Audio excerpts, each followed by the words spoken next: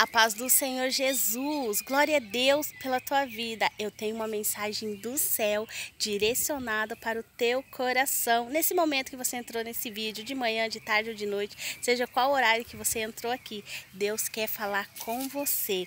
Essa mensagem vai direto para o teu coração. Então, se você entrou, é com você mesmo que Deus quer falar. Deixa Deus falar contigo. Em Filipenses 4, versículos em diante, né?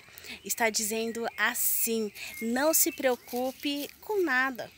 Ei, não se preocupe com nada. Deus está dizendo, filho, ei, não te preocupas, sou teu Deus. Sou eu que envio as providências para você. Sou eu que abro portas para você.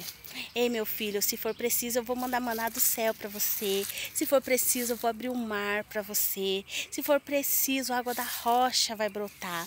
Ei, filho meu, não te preocupas mais. Você tem andado preocupado com tantas coisas, com necessidades da vida. Ei, não se preocupa não, pois eu, teu Deus, basta para você. Se você pedir a minha ajuda, nada vai te faltar.